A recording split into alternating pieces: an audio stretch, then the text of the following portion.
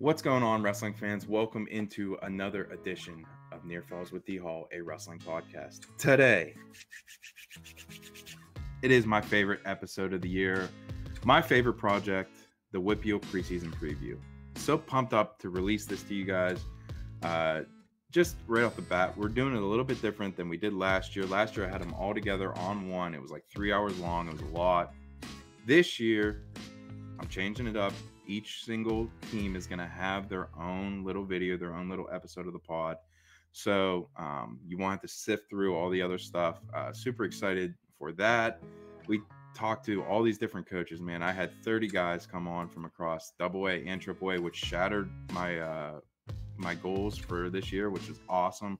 So yeah, man, I'm just super excited to release this to you guys. It's it was a lot of fun. These coaches were open and honest. Um, they had great insight, and for me, man, just to sit down and and listen to these guys talk about WPIAL wrestling, there's not much better in my world. So, without further ado, here is the WPIAL preseason preview. Thank you guys. Love Jens. As always, brought to you by Switch Custom Apparel. Welcome to the Near Falls WPIAL Show. Where DL and Kaz are gonna tell you all the things you wanna know. Whether it's Trinity or Spencer Lee or Mr. Kurt Angle, just ask Vinny D. Where be yeah, Ken and Mac for sure. They got the interviews to soothe your soul because it's Near Falls in the wheel. Okay, joining me now on the call, we have coach of the Washington Prexies, Mr. Kyle Klein. How are you, sir? I'm good. Uh, doing all right. You know, busy. Just got over being like sick, but I'm good now. I'm feeling better. So get ready for the season. Let's go, man. It's getting cold yeah, out. man. It's, It's, uh, it's nuts. It's that time of year, you know? It's a crazy week for me because like we have all the youth stuff, and then junior high, Mm-hmm. and then high school, and you know, like our season hasn't even started yet for high school really because all our kids are still playing football. So Right. It's, it's a waiting game, and we have a couple kids in a room, but it's like we're behind, and then the youth is nuts. So it's, It's it's somewhat of a good problem to have that football teams, uh, they have a run going, don't they?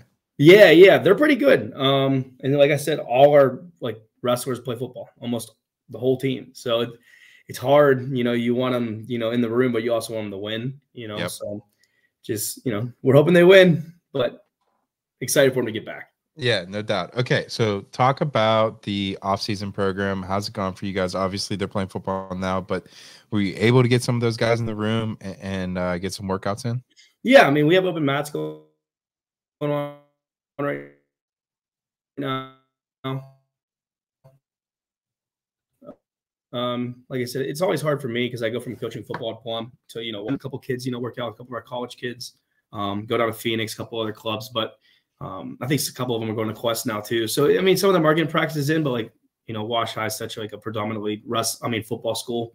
So it's like their weight room like lifts are for football. So I mean, it hurts us in a little bit, but you know, I can't really get in anyway. So I mean, open mats are our best way to get in shape. Mm, mm, no doubt. Okay. As the off-season program has progressed and you're starting to get into the start of the season, um, even last year's uh, you know results as well. Who are some of the leaders that that you're going to be leaning on uh, for this squad? Um, I mean, we have one senior, once two seniors back. Uh, Bo Barlow has been wrestling for us for like four years. He's always been a tough kid. I mean, his record Mhm. won't show it at all. Um, but he's always in matches. Like he'll he'll wrestle like four three matches. They get stuck. You know, um, he's a kid that I want to see. You know, progress. I'm not saying he's gonna be like a you know killer or anything, but he'll be a pretty good wrestler for us. Um, Tyler Roberts is our 215 pounder. He kind of played a backup role for us last year. Um, he's a pretty good football player, pretty big kid. He's always been a decent wrestler. Um, and then that's our sophomore class. Um, Joe Wilson, obviously, Mhm. he's he's a captain on the football field. He'll be a captain on our team, I'm sure. He's What's he play on the football field? uh, I think he's a guard and he's just an absolute dog. Like Just a monster. they said he's insane. Like I watched his playoff game. He got his helmet ripped off and they just hip tossed someone. Um, penalty. He's he's just a different kid, man. He's like football. They said he's just unreal. Like I'm sure he'll get offers for football, but Mm, he's a, he'll be a pretty good wrestler too. And then Caleb Patton will be a sophomore for us. Um, he was injured early last year. He made a run. Uh, he went to sections. One match weight with Beals wrestled a kid from Mount Pleasant, real tough. Um, so he, he'll be a kid that you know we want to see grow. Um, he should be a regional qualifier for us. So those are the two kids that we're relying on for wins, and then the two seniors will probably be for the more leadership role.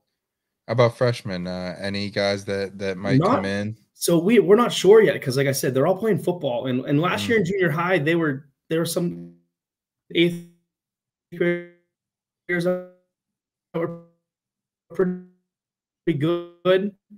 Um, but we don't know who's going to come out. We really have no idea. Um, I know with eighth graders, six or seven solid seventh graders. We're excited for them. We had a couple eighth grade state qualifiers, so that back end's pretty good. But this ninth grade class may be, you know, the missed one compared to you know last year when we had you know three very very good freshmen. Yeah, man. It seems like there's uh, a lull in a lot of these programs. The COVID uh, kind of took out a, a big portion of these numbers. Um, yeah, but as you get into this season, uh, as you get into the season, how have you built this uh, schedule and, and uh, getting these guys ready for the end of the year? So, it, like I said, it's kind of different for us. Like we wrestle, we're going to go short Chartiers right off the bat. I don't know how many kids we're going to have because you know it's in two weeks, and we don't even know if we're going to have Right. kids practicing yet. So we'll have a couple kids there, I'm sure. Um, you know, I don't know how we'll do. It- it's honestly up in the air. But if like our kids come back, we're we're going to run them to death and then let them wrestle, so they know where they're going to know where they're at. You know, we're not going to expect great results. Right. We know, we, we'll know what shape we're in. Um, you know, we get hammered right off the bat. We get Burgettstown, you know, December, I think it's December 6th. So you know who, but you know who you are. So that's the good part about having that match first is, is you know where you're at, right? Like we will Yep. go and get beat up on, and we've done it in the past. We've got beat up on first match. But we've also had some kids surprise us. You know, they were in the match. And then later on the year, they'll see some of those kids and, and they'll get closer. You know what I mean? Burgettstown's obviously, you know, the standard. They are. They're a standard in their section. They're a standard in the Whitfield, um, them and Mm. Burl. So we like wrestling them first. You get it out of the way. Um, but then we will go to West Mifflin for the holiday tournament. We went there last year. We did really well. We took like fifth as a team. Um, it's good for us because we have a lot of younger kids, so they get a lot more matches. Mat time's good, and you can take two kids per weight. Mm. Um, and then Tricata and then the Burgettstown tournament for tournaments for us. Um, we're looking at another duel or um, tournament. You know what I mean? We want to find some different teams. I feel like we wrestle the same people every weekend sometimes. Like you may see Mm. Joe versus JoJo 95 times or you know, Joe versus Rosilko from Bentworth. You may see that like every weekend and it gets repetitive at times. You do want to find more competition for these kids. Yeah, no doubt about it. I agree there. And uh yeah, it's tough to just keep going through wrestling the same guys. You feel like you're in a round robin. I was uh I remember being part of that in school. I remember I wrestled one guy like six times in my senior year.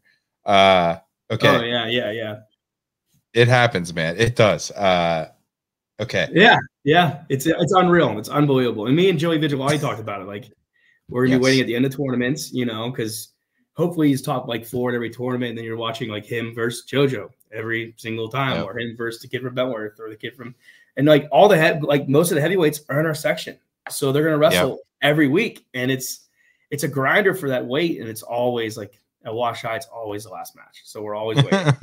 so we get used to it, man. We we eat good, like you know, we're always in the concession stand, we're always in the coach's room, so Yeah. But it's always that last match, so you know, you get used to it. I appreciate that. That's good stuff. Okay.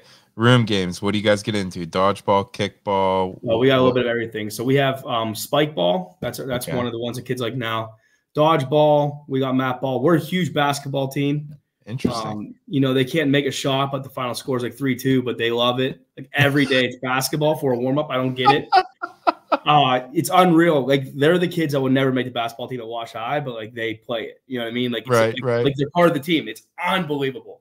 Um, That's awesome. old school old school wall ball. Okay. Um, you know, old school, kind of like how you know we grew up playing, where you you peg them and stuff. right, right. Um, it, there's a game called Klein Ball, named after me. It's a mixture of basketball, soccer, and like ultimate football. So it, it's there's tackling, there's there's push ups, there's a lot of fights uh, when it comes to game day, but um, a lot of conditioning. If we play basketball, they have to stay moving. If they get caught Mm. not moving, they got to do push ups Mm, get back in. Um, but yeah, a little bit of everything, man. We play a, lot of games. We actually play a card game too. Um, if there's like a small group of us like there is now, we'll get a deck of cards and we'll just sit like in a circle, and each kid picks a card, and, and you challenge someone like war. So it's like and you go to you collect the most cards. So our kids are doing like a hundred thousand push-ups without realizing it, but they're playing war, calling each other out. So, you know, just small games like that help. I don't too. mind that. That's a good way.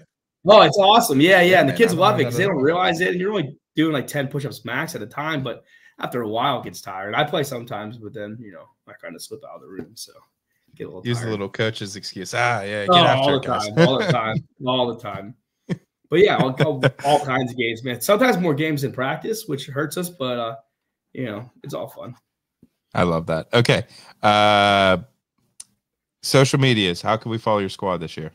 Uh, mostly Twitter. Um, you know, I usually tweet at you guys anyway. Um, Twitter, I'm gonna try to be more like adamant on it. You know, following it. I want to make a page, but I want to get it uh, approved through the school. Mm. We also have a Facebook. Um, you know, it's Washington Prexy Wrestling, and then we're gonna create an Instagram account too. I think just to show some pictures and stuff.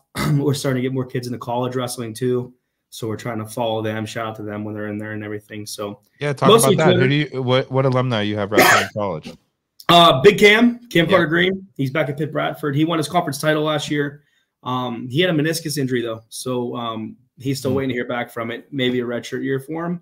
Which you know, I talked to him the other day about it. We we still talk all the time. It's like he's like my little brother, Mm. um, my little big brother. But I talk to him literally almost every other day. He sends me Hmm. Snapchats and. Um, Mikey Ewing still at Seton Hill, um, still in a backup role, but he's still practicing. He's absolutely massive, like it's That's stupid. awesome. And then uh, Nick Blanchett, actually, he was our um, 45 pounder last year. He busted his knee up. He's actually having a decent year, and he's at W and J. So we have three Nice. people in the last two years that are wrestling in college, and you know that's the big thing I'm trying to get around to all these parents is like, hey, there's opportunities out there. You know, it's not just football at Wash High. You know, you can wrestle. You know, I mean, we're producing kids, and you know, there's only a certain amount of Division One scholarships going around. You know, so take advantage of the opportunity that you have. I love that. Good, good stuff there, man. Okay. Anything or anyone you want to shout out before I leave you go?